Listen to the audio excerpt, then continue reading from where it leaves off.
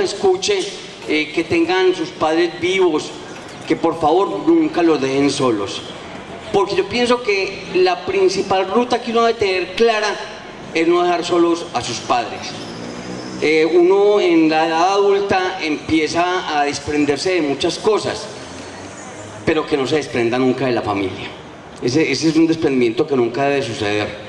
Merecemos respeto, merecemos tolerancia, merecemos todo esto que, que concibe al adulto mayor, para que todas y todos cuando sean violados sepan que tienen derechos a, a demandar, para que todos sepan reconocer los derechos que tenemos.